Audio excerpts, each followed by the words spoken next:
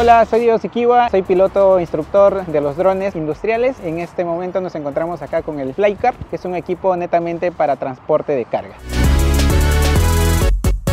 El equipo sin baterías, porque llevan dos, pesa 42.5 kilos y con las dos baterías incluidas pesa 65 kilos. Puedes transportar hasta 40 kilos de carga y 18 kilómetros de distancia, ¿no? a una velocidad de 15 metros por segundo. Todo eso se va programando en el control remoto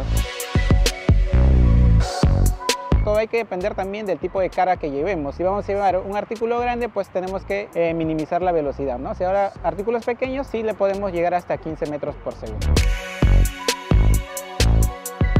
Actualmente lo están utilizando el Flycar en el rubro de minería, agricultura y en el tendido eléctrico, es decir, cuando hay una construcción de torres de alta tensión, ¿qué es lo que hacen con el equipo? Enganchan el cable y lo llevan de un punto A a un punto B. Así minimizamos el tema de los riesgos. El Flycar viene equipado también con un paracaídas que va a minimizar los daños en caso ocurriera un accidente. Cuenta con dos radares en la parte de arriba y en la parte de abajo. Puedes trabajar de día y de noche. La cámara que tenemos en la parte de abajo te mueve 90 grados para ver dónde puedes aterrizar el producto que tienes enganchado. DNT